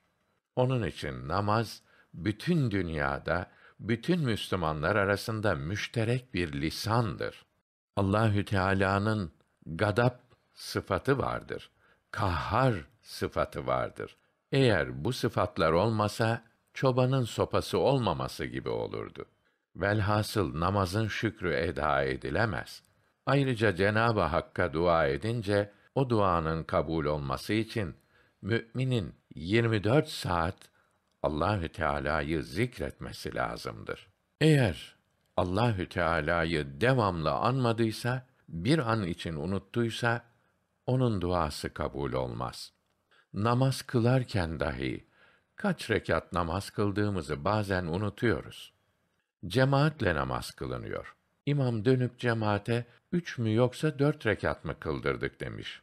Cemaatin yarısı üç, yarısı da dört demiş. Cemaatten birisi şu tüccar iyi bilir. Ona soralım demiş. Tüccara sorunca tüccar hiç beklemeden cevabı vermiş. Biz üç rekat kıldık demiş. Tüccar efendi nereden bu kadar emin konuşuyorsun demişler. Çünkü dördüncü rekatın sonunda ben bütün hesapları bitiriyor ve kasayı kilitliyordum. Şimdi kasa açık kaldı demiş. Gaflet basınca insan her şeyini unutabiliyor. Allahü Teala'ya şükredeceğiz. Peygamberimize aleyhisselatu vesselama teşekkür edeceğiz. Bizlere İslamiyeti anlatmak için ne büyük sıkıntılar çekti. Mübarek buyurmuşlar ki, benim çektiğim sıkıntıları, üzüntüyü dünyaya gelmiş ve gelecek hiçbir insanlar çekmemiştir. Böyle bir peygambere teşekkür edilmez mi? Ona nasıl teşekkür edeceğiz? O nasıl yaşadıysa onun gibi yaşayacağız. Salavat getireceğiz. Biz de birkaç kişiye dinimizi anlatmalı, kitap vermeliyiz. Bir anne düşünün. Sizi dünyaya getirinceye kadar ne sıkıntılar çeker. Anne ve babaya çok saygılı olmalıdır. Onların duasını almak lazımdır. Almazsak kurtulamayız. Bir gün Peygamberimiz aleyhisselatu vesselam bir yere gidiyorlardı. Orada birisi tarlasında çalışıyordu. Hemen Cebrail aleyhisselam geldi. Ya Resulallah, sakın buna selam verme. Tarladaki adam, her ne kadar hürmeten ayağa kalktıysa da, Cenabı Peygamber aleyhisselatu vesselam, onun yüzüne dahi bakmadan yoluna devam etti. Çünkü emir öyleydi. Peygamberimize aleyhisselatu vesselam aynı yoldan geri dönerlerken Cebrail aleyhisselam tekrar geldi ve ya Resulallah ona şimdi selam ver dedi. Tebessüm ederek selam verdiler. Sonra ya Cebrail kardeşim bu işin hikmeti nedir? Giderken selam verme dedin, dönüşte selam ver dedin. Anlamadım. Ya Resulallah, o evden çıkarken annesinin kalbini kırmıştı. Selam vermediğiniz için aklı başına geldi. Uyandı, hemen eve koştu, annesinin gönlünü yaptı. Allah Muhammed aşkına beni affet dedi. Annesinin gönlünü aldığı için Allahü Teala da sana ona selam vermeni ve gönlünü almanı emretti. Allahü Teala Kur'an-ı Kerim'de mealen buyuruyor ki siz Müslüman olmadan evvel birbirinizle hep dargındınız, kavgalıydınız. Kabileler birbiriyle savaş halindeydiniz. Şimdi iman ettiniz. Öyle bir kardeş oldunuz ki din kardeşi oldunuz. Birbiriniz için canınızı feda edecek hale geldiniz. Nimet olarak bu size yetmez mi? Mübarek hocam olmasaydı bizim burada ne işimiz vardı? Onun için hocanın hakkı anne baba hakkından önce gelir. Evet, anne baba çok sıkıntı çekerek dünyaya gelmemize sebep oldu. Bizi korudu, büyüttüler. Anneden babadan elde edilen iman insanı kurtarmıyor. Ölünce ne olacak? Allahü Teala Kur'an-ı Kerim'de mealen buyuruyor ki: Ey iman edenler! Allah'a ve peygambere iman edin. Hem iman edenler diyor, hem de Allah'a ve peygambere iman edin diyor. Annenizden ve babanızdan öğrendiğiniz İslamiyeti bir mürşidi kamilin önünde diz çökerek, ondan istifade ederek tam öğreniniz buyuruyor. Birbirinizle iyi geçinin. Nefsin ve şeytanın gayesi müminlerin arasını açmaktır. Onları bölmek ve parçalamaktır. Nefsini mi, din kardeşini mi tercih edeceksin? Nefsini değil, din kardeşini tercih et. Allahü Teala'nın rahmeti birbirini seven cemaat üzerinedir. Madem ki beni çok seviyorsunuz, birbirinizle iyi geçinin buyurdular. Cenabı Peygamber aleyhisselatu vesselam buyuruyor ki, iki mümin Allah rızası için bir araya gelse, aralarına şeytan giremez. Bunlar rızayı ilahi için bir araya geldiler ve şeytan uzakta durur, bu müminlerin yanına yaklaşamaz. Dolayısıyla onların arasına fitne sokamaz, onları bozamaz. Demek ki iki Müslüman aynı inançta, aynı hedefte olursa şeytan onlardan korkar. O halde şeytandan korunmanın çaresi mümin kardeşinle beraber olmana bağlıdır. Beraber olunca muhafaza altındasın. Ama tek başınayken bu garantiyi veremezsin. Nitekim insan yalnız başına kitap okuyabilir ama biri okur, diğeri veya diğerleri dinlerse bu sohbet olur. Bütün ilerlemeler sohbette mündemiştir. Yani sohbetin içinde vardır. Neden? İki insan bir araya gelmiştir. Şeytan bozamaz. Dolayısıyla bozamayınca da daha kolay anlar, daha çok akılda kalır, daha çok zevk alır. Mübarek hocam buyurdular ki, şeytan mikrop şekline girebilir. Damarların içinde dolaşır. Belki birçok hastalıkların kaynağı bu melundur. Velhasıl işimiz önce korumak ve korunmak, sonra da icraat yapmaktır. Sen düşmanların arasında ne kadar ibadet yapabilirsin? Düşmanların arasında ne kadar faydalı olabilirsin? Düşman olmazsa çok daha faydalı olursun. Bu da ancak beraber olmaya bağlıdır. Müslümanların kalbindeki nur yüzünden fışkırır. Müslümanın yüzü mutlaka insana ferahlık verir. Kâfirin yüzü insana sıkıntı verir. Şuna hayret ediyorum. Nasıl sen bir din kardeşinle beraber değil de Allah'ın düşmanıyla beraber oluyorsun? Bir hadisi kutsi de buyruluyor ki, dünyaya ben sineğin kanadı kadar kıymet verseydim, düşmanım olan kâfirlere bir damla su vermezdim. Dünya malı hiç kıymetli değildir. Bugün seninledir, yarın ölünce yok olacaktır. Çok zengin bir adam varmış. Oğluna demiş ki, oğlum, ben ölüyorum. Bütün malım, mülküm, her şeyim senin olacak. Bir çift çorap çıkarmış. Ben bu çorapları giydiğim zaman işlerim hep rast gitti. Öldüğüm zaman beni yıkayacaklar. Kabre girmeden evvel bu çorapları bana giydirin. Eğer bu çorabı giydirmezlerse bu mektubu hocaya ver. Bir gün geldi ve adam öldü. Baba teneşirdeyken oğlu hocaya dedi ki: "Babamın vasiyeti var. Bu çoraplar sayesinde ben çok para kazandım. Belki kabirde de işime yarar. Onun için bu çorapları ayaklarıma giydiriniz." Hoca, "Çekil oradan. Şeriatın olduğu yerde vasiyet olmaz." dedi. Dinimiz ne derse onu yapacağız. Kefenden başka bir şey olmaz dedi. Bunun üzerine oğlu çıkarıp mektubu hocaya verdi. Hoca mektubu açtı ve okudu. Oğlum, bak görüyorsun, dünyada çok mal mülk kazandım. Ama yanımda eski bir çift çorap dahi götüremiyorum. Günah değil mi bana? Meğer adamın maksadı oğluna nasihat vermekmiş. Gel benim düştüğüm hataya sen düşme. Ben yemedim. Sen ye ve yedir demiş. Kim dine hizmet ederse biz onun ayağına gideriz. Bakın çok namaz kılan demedim. Çok oruç tutan demedim. Kim Allahü Teala'nın dinine hizmet ederse onun bize gelmesini beklemeyin. Biz onun ayağına gideriz. Ne olur bu ruhu taşıyın yeter. Yolun aslı budur. Oku, okut ve din kardeşini sev. Sevgiden, kaynaşmadan, beraberlikten rahmet-i ilahi iner. Bu mübarek zatın pek çok menkıbesi vardır. Bunlardan birisini nakledelim. Bayezid-i Bistami Hazretlerine bir gün bir kimse gelip, efendim, ben otuz senedir gündüzleri oruç tutup geceleri namaz kılıyorum. Ama kendimde hiçbir ilerleme göremiyorum. Halbuki itikadım da düzgündür dedi. Sultanül Arif'in Hazretleri, sen bu halde 300 sene daha devam etsen bir şeye kavuşamazsın. Çünkü nefs engelin var buyurdu.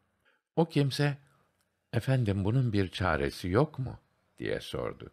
Bayezid-i Bistami Hazretleri, var ama sen kabul etmezsin buyurdu. O kimse ısrar edip, aman efendim, lütfen bildiriniz ve beni talebeliğe kabul ediniz. Ne emrederseniz yaparım dedi. Sultanül Arif'in Hazretleri buyurdu ki, öyleyse şimdi evine git. Bu kıymetli elbiseleri çıkarıp, adi ve eski bir elbise giy.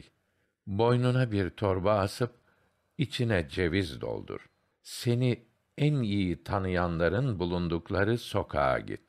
Çocukları başına topla. Bana bir tokat vurana bir ceviz, iki tokat vurana iki ceviz veriyorum de. O kimse bunları duyunca, Sübhanallah, la ilahe illallah, ben bunları yapamayacağım. Bana başka bir şey emretseniz, dedi. Bayezid-i Bistami Hazretleri, senin ilacın ancak budur ve biz de baştan sen bunları kabul etmezsin diye söylemiştik.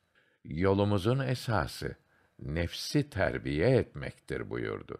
Sultanül Arif'in Bayezid-i Bistami Hazretleri sevenlerine şöyle nasihat etmişlerdir. Büyüklerimiz buyurdular ki, beş şeyi yapmayan, beş şeyden mahrum olur.